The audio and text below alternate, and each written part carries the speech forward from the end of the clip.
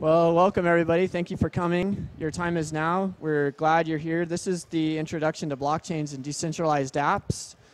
Hopefully, this is what you want to be at. If not, we won't. We'll give you a couple minutes to leave, or it's fine. So I'm Valor Benicoso, and I'm up here with my good buddy Tom Davis.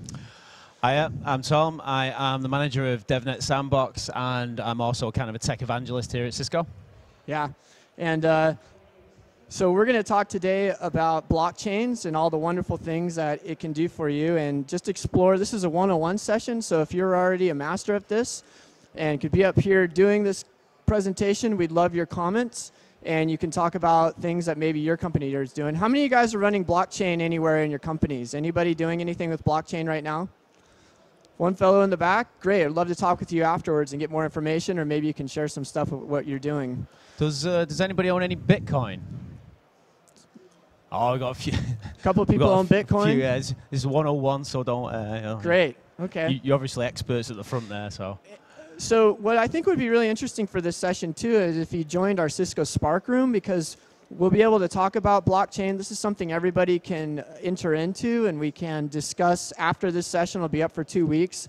We'd love to just figure out what you're doing. If you have questions about some of the things that we've done, uh, we can show it to you. We're not going to really show you a lot of the things that we've done internally over the last two years with this. We're just going to show you a pretty easy demo of how you would get started with blockchain uh, and, and start uh, creating smart contracts. But that's how we're going. And our agenda today is really, we're going to talk about, Tom, why is blockchain technology interesting? Can't wait for you to tell me. And then we're going to say how are blockchains being used today? Where might you find some of the applications? And then we'll start talking a little bit more into the details of what actually is a blockchain. And then we'll give a demonstration. And then, as always, we will look ahead into the great wide future. We will.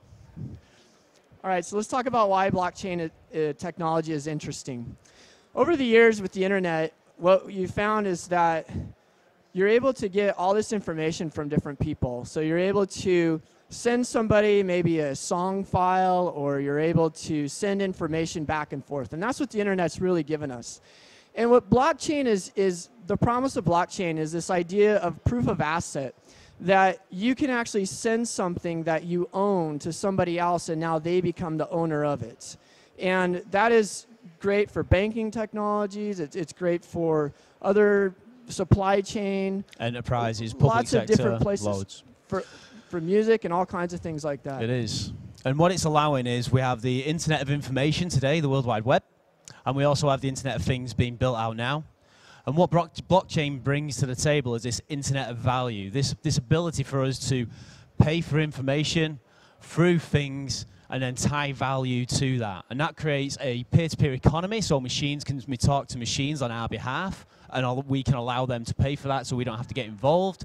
And it also creates cross uh, cross-industry efficiencies where it takes the middleman out of a lot of transactions, like say uh, when when we bank from border to border, we don't want any middleman in there. It just adds val like cost to us, so it'd be better to do it just value to value, for example. And we'll get onto a few more use cases on the next slide, I believe. Yeah, imagine we live today in a world of Uber and Airbnb, and those are disrupting industries. But as we look at what blockchain can provide us as everything's decentralized, we look at a world where you can have something like Airbnb or Uber and have it without a centralized overlooking authority. And so it's more of like this democracy. And I've seen papers where they call it device democracy. Yeah. But banks, for example, if Tom and I are going to going to do issue a security, we have somebody doing an IPO. The way we're doing it today is we're keeping our own databases separately of all these transactions. And now what blockchain enables us to do is have a shared distributed ledger that we could each take all those transactions and even though we may not trust each other entirely, we can share that common data set so that the transactions and the, and the security gets issued quicker. And then we have like uh, enterprises like IoT manufacturers. They want to be able to use blockchain to register their IoT devices, like drones, for example. If we publish, it, if we create a drone and that goes out to the to the people to buy, we want to be able to register who owns it and who manufactured it. A lot of other kind of secure information. So if that drone goes into unsecure aerospace, for example, we know who was flying it and who did that, or we can trace it back to the manufacturer. And this needs to be on a public scale so anybody can see who owns that drone and where it's flying. And it's the same with cars. When you buy a second-hand car, you don't know its history. If there was a public chain or database where you could find out its records, where it's been, who's owned it, how many people have owned it, not specifically the person, that's probably data protection issues.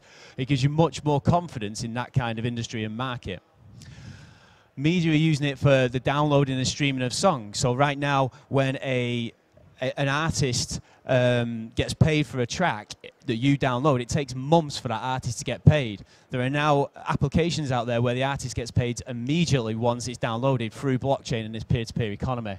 And so it goes. So now Tom is going to take you to a story of drama and intrigue. So picture that it's a dark, stormy night. So we're going to go through this timeline of intrigue just because you can see how young this technology still is, while how much interest and how much money has been poured into it. It really highlights how much of a buzz there is around this technology. So it all started in 2008. So we're talking like eight years ago, which in technology terms is quite, quite young, very young. Um, a, a Satoshi Nakamoto, which was a name for somebody who, a pseudonym for somebody we don't know, uh, created a white paper for the blockchain that Bitcoin will be based on. One year later, that Bitcoin um, blockchain was actually created by a bunch of developers and released into the wild as you know it today. One year after that, we got the first exchange, currency exchange based on Bitcoin.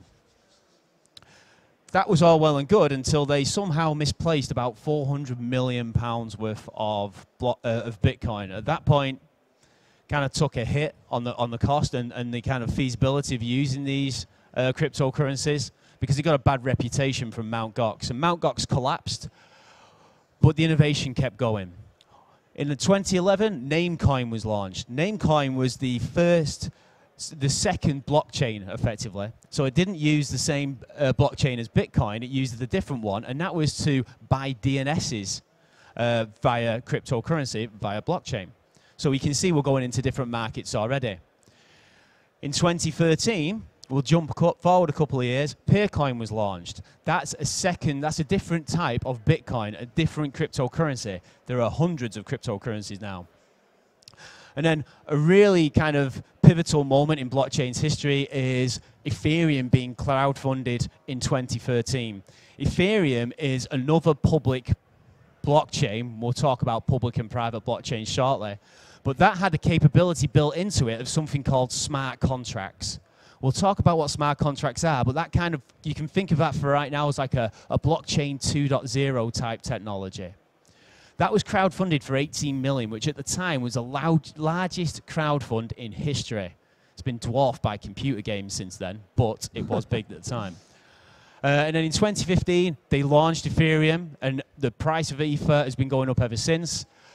And then you can see at the end here, $1 billion of venture capitalist investment has been pumped into blockchain startups in less than seven years. That's an incredible amount for such a young technology.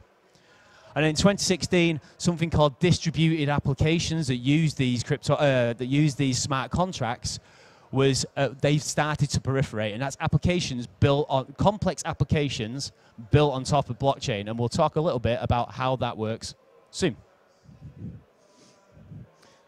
So how are they being used today? Well, the number one application for blockchain is Bitcoin, and this is actually the original where, where blockchain started from Satoshi Nakamura's paper. And really what Bitcoin is, is it's a way, it's a peer-to-peer -peer economy of money. Uh, right now, one Bitcoin is worth around about a, a thousand yeah. euro yeah, or I think so. so. Yeah, yeah. So uh, the way you can get them, if you wanted to start getting Bitcoin, you can know somebody who's willing to sell you some, or you can go to an exchange. Uh, some of the popular exchanges right now is Coinbase. Uh, any others? Where you get them from? I use Coinbase. There's a lot of there's a lot of ones out there that you can just do a search for. You can get Bitcoin. You don't have to actually buy one Bitcoin. The way the Bitcoin works is that you can actually start buying millibits, or you can buy uh, portions of a Bitcoin.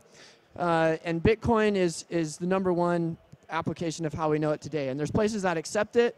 I've heard that there's some ATM, Bitcoin ATMs here in Berlin, but I haven't seen them. There's certainly a number of startups here in Berlin. In fact, most right. of the startups that we've worked with are actually, they have an office here in Berlin. They are, they, they do. So they it's do. been really interesting to see those. But as we talked about, it's not just limited to banking and that industry vertical. You can see on this slide in the grey boxes here all the different verticals that are playing with Bitcoin technology in one way, shape, or form. We'll take the energy one, for example, because there's a good use case around there. What energy manufacturers are using for certain startups in the energy sector, they're looking to kind of create um, points of presence of uh, energy grids at your end of your street. So you can buy energy off your neighbor if they create too much from their solar panels. It just goes straight to that point of presence rather than back to the main grid and then back to your house and you pay your neighbor via by Bitcoin seamlessly or via a cryptocurrency within a blockchain seamlessly to lower your energy costs. Your neighbor gets some money and it's just cheaper, cheaper and more uh, cost effective all around. That's one example. And then IoT, we've already talked to. IoT and blockchain go together like I don't know, salmon Hand and, and glove, yeah. or something that goes together really good. yeah. I like magnets. Salt and pepper. Um, because of this this thing where you can um, the idea of registering drones on blockchains or registering any IoT device that can then transact on your behalf. You could have your car transact on your behalf to find a petrol station, charge like one pence for that. So you're, if you've got an electric car, you're not, you haven't got range anxiety about running running out because your car will tell you, hey, here's the nearest charge point. Uh, it's free. Go to it now because you're going to run out. And by using that API call via a blockchain, it costs you like zero zero one pence, which you don't care about because you've told your car it can transact on your behalf to find that information out. All right, let's talk about how they actually work and what they are. So this is the slide that Tom always says is kind of the big disappointment slide yeah, because is, we've yeah. been building up this technology and talking about how great it is and what it can do. But when it comes down to it, all Bitcoin it, or all a blockchain is is a distributed ledger of transactions.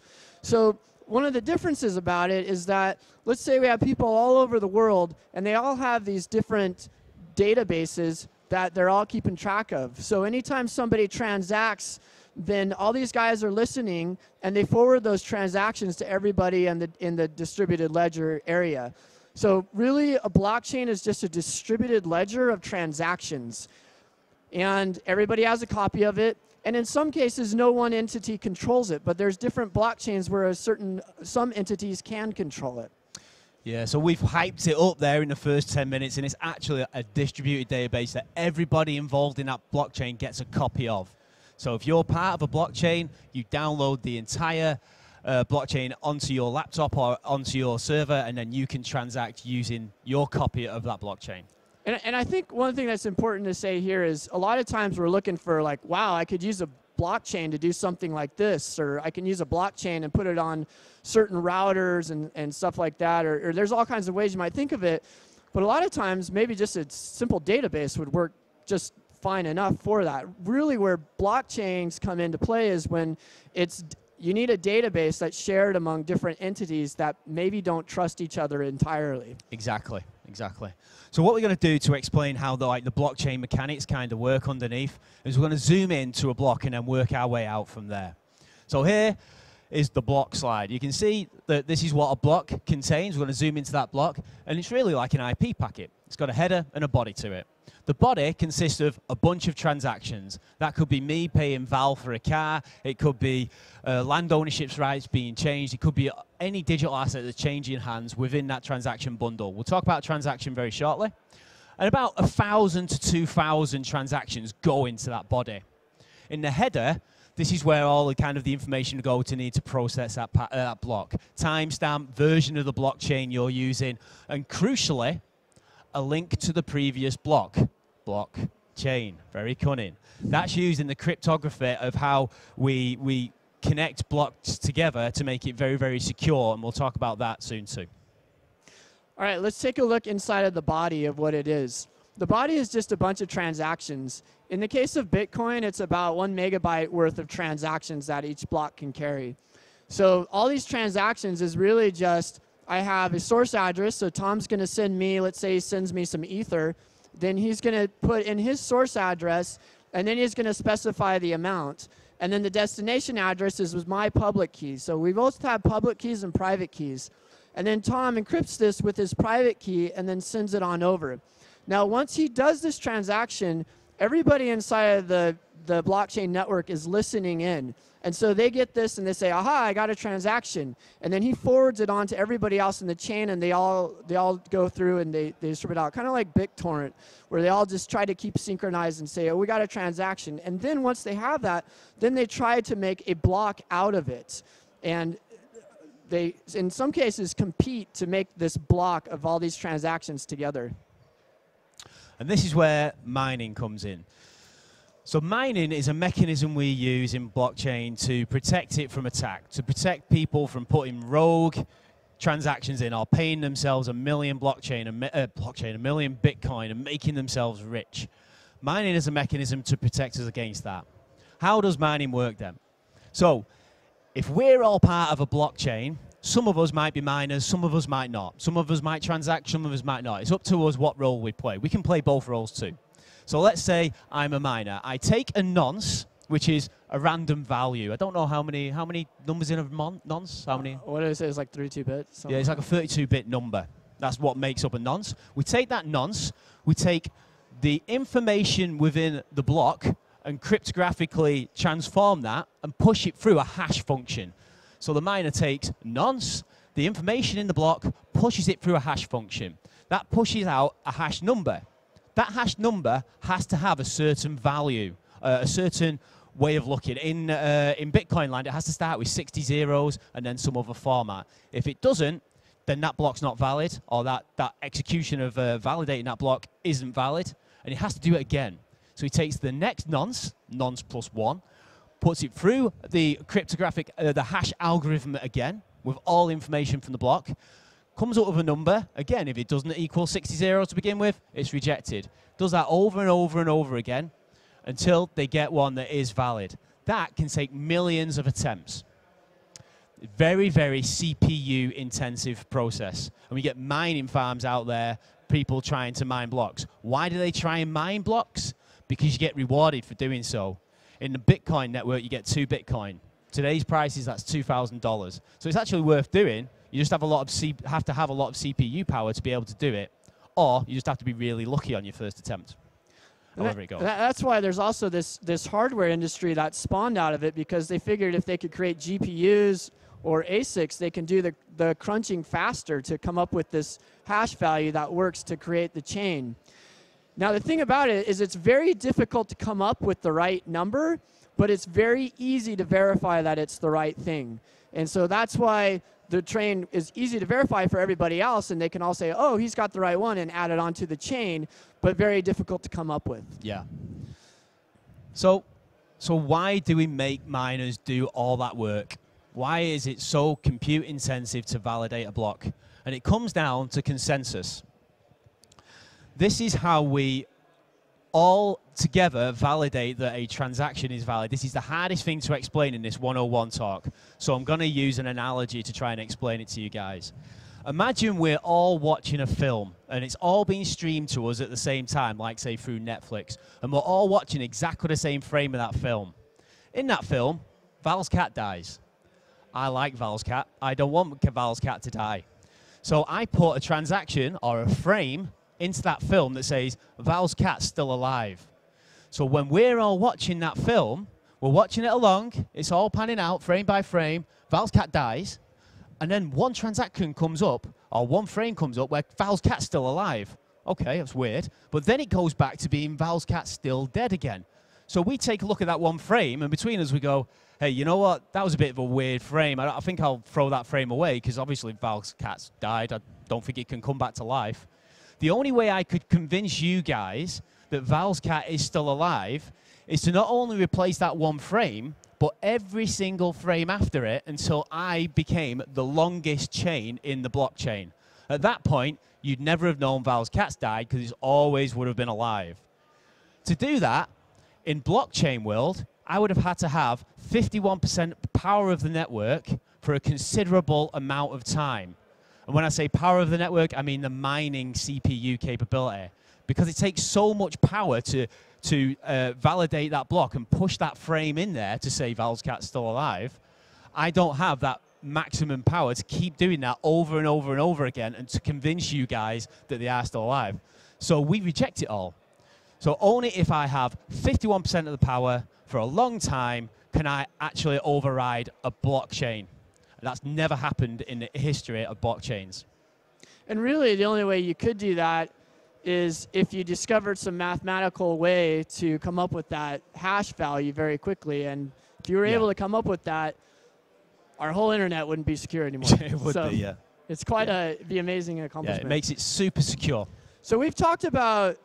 So the way we've described this blockchain is we described it how public blockchains work. So we described Ethereum it can be put into this, and Bitcoin can be placed into this, and a number of other things, Namecoin, some of those other ones. That's how they work. Those are public chains. Now on the other side of the of, of the Bitcoin, we have private and community and permission-based chains. These are chains that instead of going through mining and having a token, they're just permission that we just sign with our key. So this is something one of the, one of the problems with Bitcoin and with Ethereum is that coming up with validating those transactions takes a lot of time. And so what we want is something that's quicker because in some cases we don't need that. So if we're in a bank and, or we're, we're, a, we're a consortium of banks, maybe we just know who each other are by our keys. And that way we don't have to come up with all this mining really fast. And so permission-based chains are what really has a lot of the industry interested in now because they're quicker and don't require all the CPU intense. It is. That's exactly right. And it's because you can see every transaction that's ever happened on a on a blockchain. So if you transact on a public blockchain, everybody else can see that if they know what they're doing and they want to they want to see those transactions they can do. With a permission blockchain, it's only those people who have permission that can transact, and only those people that have permission can see into that blockchain. So for things like banks, as Val said, that's a much better model because they don't want to see every transaction that's going through their kind of business. And off the back of that, we also have side chains. Now, this the way to explain this is like networks, effectively. So, it, like, if a public blockchain is a network, then you might have some private networks and community networks, and maybe some other public networks. You want to join them t- together to create create a big blockchain internet. And at the moment, it's like the Wild West. Every blockchain is like a different code base with different protocol base. So companies are coming up with ways that they can transact across blockchains, and they're called side chaining right now. But effectively, it's building a network of blockchains up, and that's something the industry is currently looking at as it matures this technology. Tom said we would get to smart contracts, so that's what we're going to talk about now. Smart contracts are neither contracts nor are they smart. Really, what it is, is this is what has become known as blockchain 2.0. Before the programming language that you could do on Bitcoin, when you would go through and, and you would create a transaction, there was a, a way that you could actually write some code on there as well. However, you couldn't do a lot of basic you couldn't do a lot of basic coding things like for loops or things like that for obvious reasons because if you have a chain, you don't want a for loop tying you up by the by while you're running it. And so what a smart contract does and this is what Ethereum has in it is a way to actually program into the chain so when something happens, my program gets called. And so this is a way that now we can have these distributed applications run.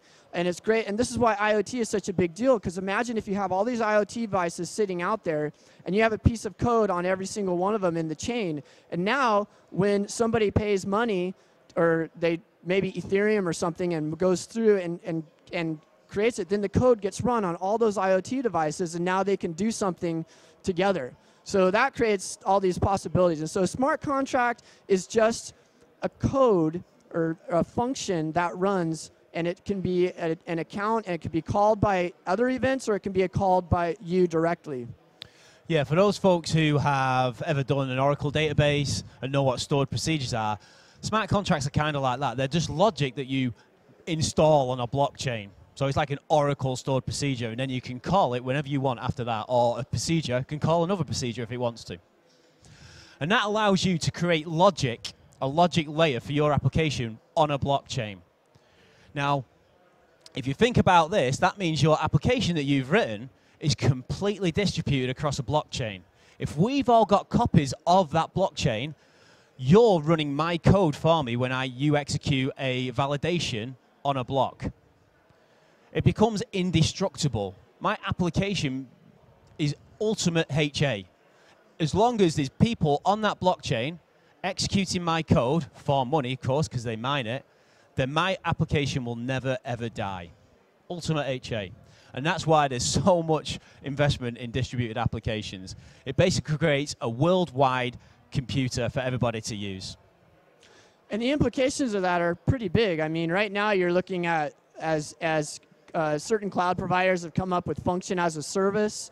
Uh, you might be familiar with Lambda or Google Functions, those types of things that you run on public clouds. Now imagine that there's this blockchain that is this worldwide computer that anybody can run on decentralized from everything. And it's, it's pretty powerful. And reasons why people start getting excited about it. And this just kind of goes through this, this distribution or this spectrum of different applications. And in this case, we're looking at the music industry. And you're familiar with Napster, which was peer-to-peer, but there was also a, a, centralized controlling database that would show you where everything was. iTunes, which is completely owned and um, managed by Apple.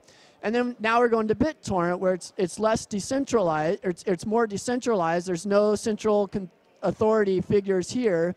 However, now you don't get the validation that somebody actually bought something. So it has the great part of this, but from the musician's perspective, it doesn't have the great part of this where I actually get paid.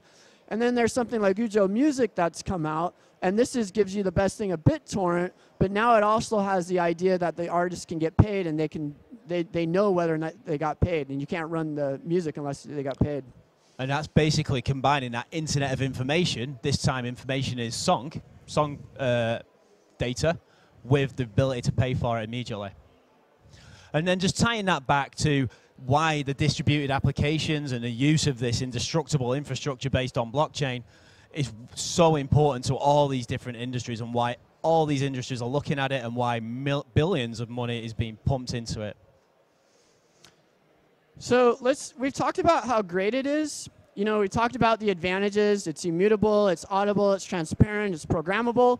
But why does it suck? I mean, what are the problems with it? Yeah. Well, one is the, the scalability issues.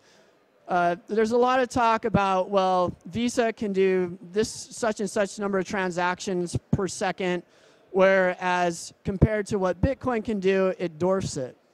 And then there's the speed, like how fast can these can these transactions be validated? And that's some of the concern in the Bitcoin community and why last year they were talking about forking Bitcoin because it wasn't transacting fast enough. And then the other issue is, well, I may not want people to know that I have X amount of Bitcoin or this amount of money because even though everything's encrypted on the chains, you can still see who owns as much stuff. So there might be an address that you see and you'll see, oh my gosh, this owns all these, this owns all these assets. In fact, I remember a couple years ago when there was a transaction, somebody just transferred like, I think it was like $10 million. They just transferred it over on Bitcoin, and somebody said, What's happening? You know, because everybody can see those transactions, so you know how much people have. And the other issue is, well, maybe, like I alluded to before with the databases, like maybe you're just introducing a technology for the sake of introducing a technology. A lot of times, my first question when I when I'm confronted with you know maybe this is an application for Bitcoin, I just think, well, is this something I could just do with a regular database? Exactly, yeah. And the scalability and speed things are interesting because you've probably some of you guys might have put it together in the room already, but if you have to have the complete blockchain on your local environment to be able to transact on it, and then people are pushing code in there all the time to run their applications, how big is that blockchain going to get that you have to download really quite big. So it's a real problem. And the speed thing, to emphasize that point, imagine you're creating an application where it's going to monitor your heart rate for a heart attack. It takes 17 seconds, I think it's still 17 seconds on Bitcoin network to validate a block. So it takes that long to execute my code, therefore. That's about 16 and a half seconds longer than I want an application to tell me that I'm having a heart attack, which is still pretty sucky, really. So there's a long way still to go. All right, let's talk about the things that we're doing at Cisco with blockchains right now. Yeah, so what we're doing, to tie that back to what we're doing at Cisco, um, so we're talking a lot, of course, to our partners and our customers about how they think they might use blockchain to, get, to, to gear up for the best strategy moving forward there. We're also members of the Linux Hyperledger project. That's a huge open source initiative by Linux and we do a lot of work there shaping the use cases and the, the technical solution, the modular technical solution they're building there. And we're also working with other um, consortiums like R3CEV, who's a bunch of like 40 worldwide banks, and working about how they are best going to use that blockchain. We're taking all that input into our research and development portfolio, and we'll be uh, working on that and look out for um, kind of announcements there soon. Yeah, and, and think about things like this. Uh, you know, with, with networks, there's the internet, and there's all these different routers on it. If you own the routers and the network inside of your own building, well, that may not be something that is as interesting. But when you're trying to create a network with other providers, that's where it gets interesting because now you don't necessarily trust those providers, but you want to transact things together. Um, the other thing that Tom and I built, we started building this project internally called Pipeline, where we're going to create this function as a service, and we are going to offer it to service providers. So now the different service providers would each have a copy of it, and we'd want to make sure that everybody was involved and, and could connect together as well. So we've looked at it, we've written some code on it, and we're still in, the, in development mode. But one thing that we can show you now, which might be somewhat interesting to you, is how you could get started with Bitcoin and how you can make yourself rich of your own currency. Now everybody's interested. Yeah. So Make yourself rich. what I did is I downloaded this Mist client. You can just go to GitHub and you can grab it. And what you can do is you can just start mining. You pull it up. Uh, it's just a I'll just- GUI you install. Just point out this is uh, this is Ethereum's Mist client. So Ethereum Oh, thanks, is yeah. a, a public blockchain. The the, the, the 2.0 version with um, with smart contract capability. They also produce different applications on top of their own blockchain. Mist is their wallet affection, uh, effectively that allows you to submit smart contracts and also to transact, which is what Val's going to do. Yeah, no, thanks for setting that stage. So as you can see here, when you first pull up this client, what you'll do is you go to develop mode right here, and then you'll say start mining, and then you'll start making your own currency. So in this case right now, I've made myself my own currency, my own chain, and I have three different accounts on here. The main account, which right now at this point, since I started this yesterday, I now have five 5,984 Ether. So how much is that worth today? Probably nothing because it's my own currency, right? Who's going to buy my own currency? But what's great is if you copy that hash there, you can rob him.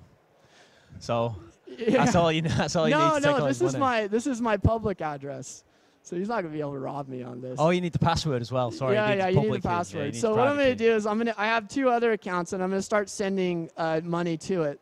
But where it really gets interesting and why you would use something like this is that there's actually this um, these developer tools you can you can use. So this actually shows a sample or should show a sample. Is it this one? Oh, the Mist UI. Um, no, that's not it. Uh, while he's been doing a demo, he's just made some more money, so it's quite good. It's over yeah, the just making money now. here. Just making money. If only it was real. I think it might be on something else already up. Anyway, what, what it pulls up is this ability that you can actually start writing Solidity code in, and then you compile it down. So it's actually written in JavaScript, and then it compiles it down to uh, bytecode that is then executed on the uh, chain itself. Yeah. So let me just show you how I'm going to send some money back and forth to these different accounts. So in this case, I have 5,000 Ether in this one. If I want to send it to somebody, I'll get like this account number two, which has 500 Ether. I'll just copy the address of him, and I'll copy it anyway.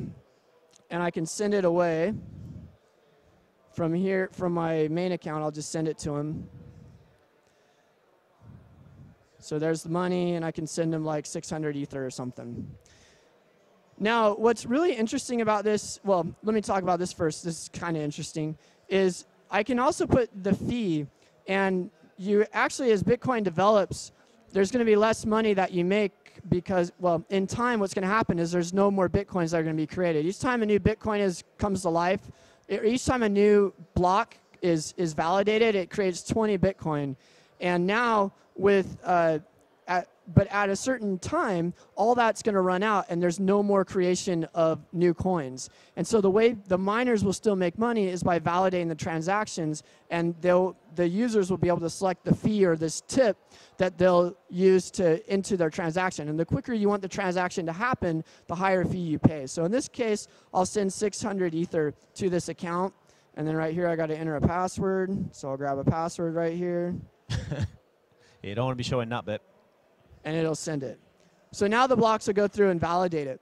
The other thing that was interesting about this too, and this is true with Bitcoin, and you have to wonder how much is out there right now, but you can actually send money to an address that nobody has.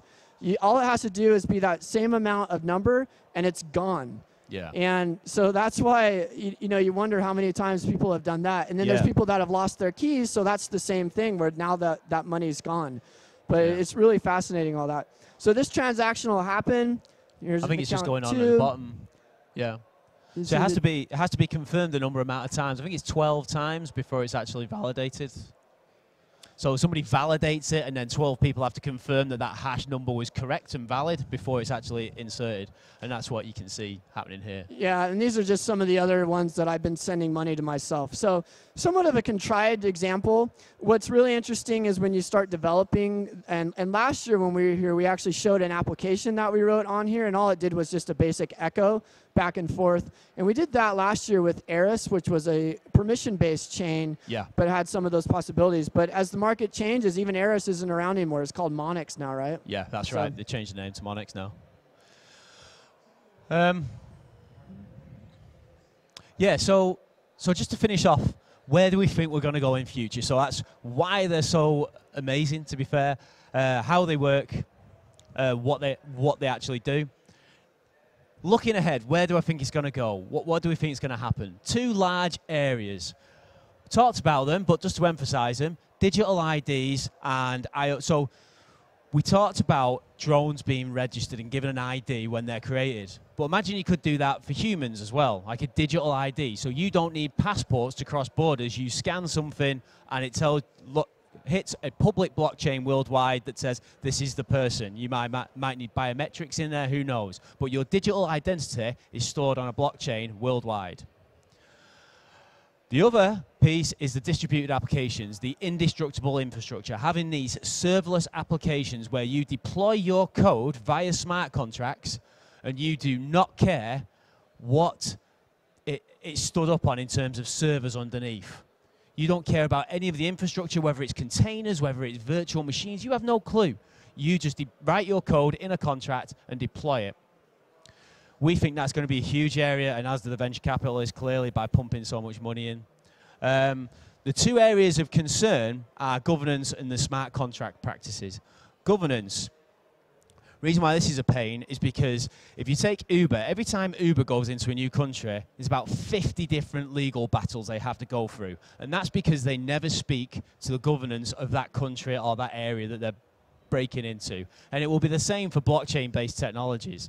If they, as banks use it more, as energy use it more, they'll come up against regulation and governance that they probably won't have seen before. And it's up to the startups to talk to these regulatory bodies as soon as possible to understand the pitfalls and whether they'll be accepted early on. And we're seeing that um, behavior in the EU now. Uh, at, at, the highest levels to understand what Bitcoin is and the implications of it, but there's so much work to be done there, in my opinion. And smart contract practices, this is a huge one. So you've probably heard about a lot of hacks on blockchains, like this blockchain got hacked, this money disappeared.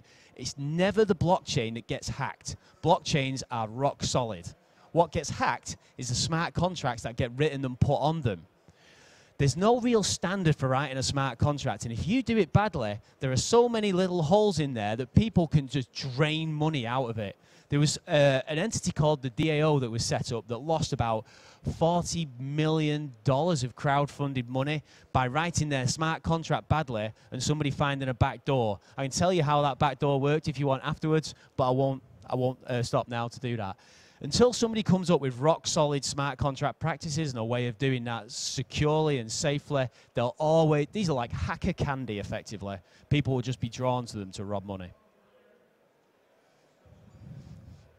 To finish off, just to where we started, we're seeing this informational world with this thing world being tied together by this value world that blockchain brings. And it's really going to change the way that business models run out there and how we transact together as a community of people worldwide.